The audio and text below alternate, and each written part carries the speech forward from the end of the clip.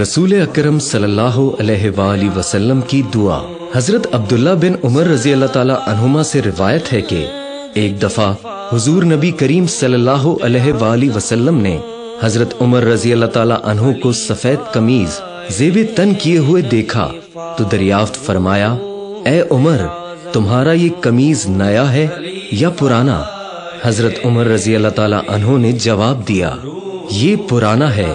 آپ صلی اللہ علیہ وآلہ وسلم نے فرمایا، اللہ کرے تم ہمیشہ نیا لباس پہنو اور پرسکون زندگی بسر کرو اور تمہیں شہادت کی موت نصیب ہو۔